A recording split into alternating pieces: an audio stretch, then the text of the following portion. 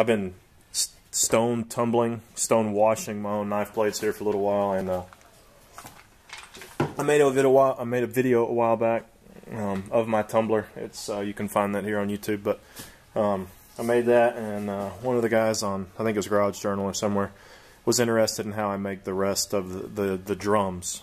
Um, so that's what we're going to do today. Basically, what I've got is a piece of four inch PVC with a cap that's going to be permanently mounted. I've got this flexible rubber cap so that I can get in and out of that.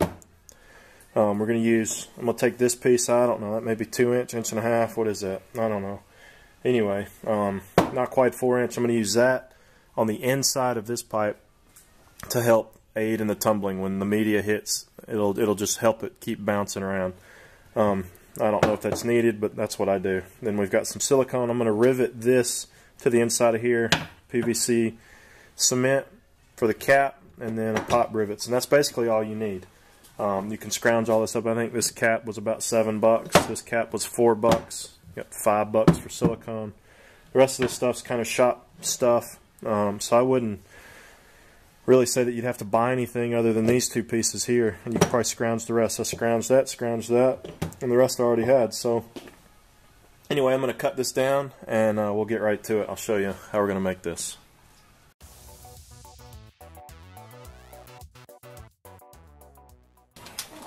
Okay, so I cut down my larger piece, or my small, uh, my two inch, cut it down into four pieces as you saw in the video.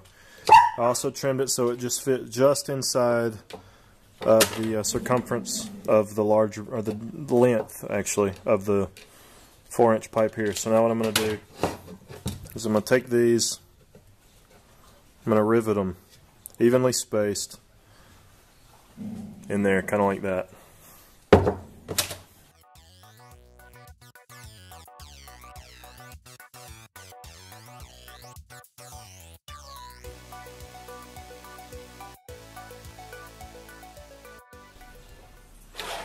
Okay, so I took these over to the drill press and I just put an initial hole in there. Um, and then what I'm going to do is I'm going to put one rivet.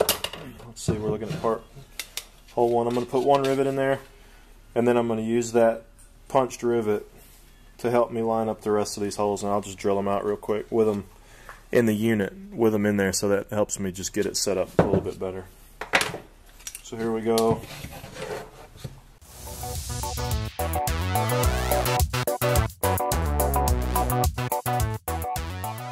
And something I didn't do there that I'm going to do on the others, I meant to put some caulk around those holes um, just to keep it from leaking, so I'm going to do that as well. Alright, so now I think I've got my act together. Got the caulk going. About to pop another rivet here.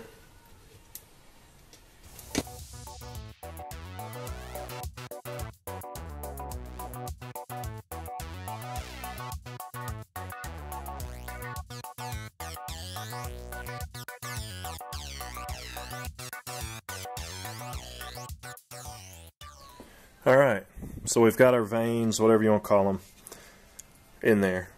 Um, I'm going to come, this is number two here. We'll clean this up a little bit. And I'll come back and I'm going to hit all these rivets with some caulk. Clean that up. But next what we want to do is we want to put the cap on.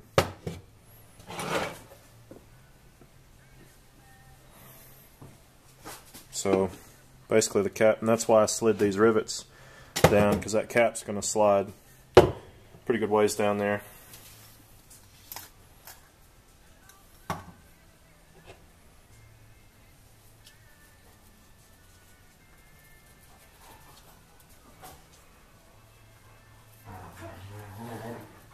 Boy, that stuff smells like it should melt some brain cells, doesn't it?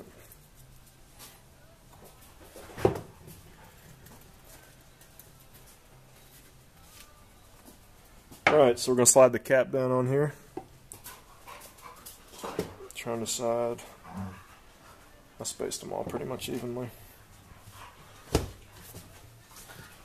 Alright, so the cap's on that end.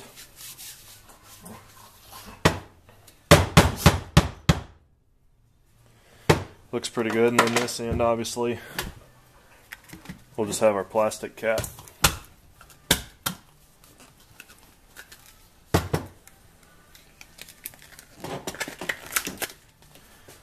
And that's basically it. Um, I may or may not put some grip tape on here. Um, just depends. But slide that on there.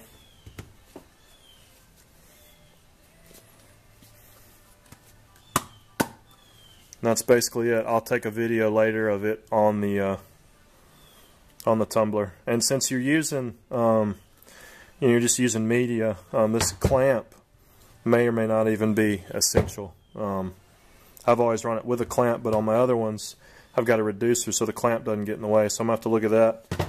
But and if worse comes to worse, I'll just get a get one with a plug in the end. But I think this is gonna work fine. We'll give it a shot and see.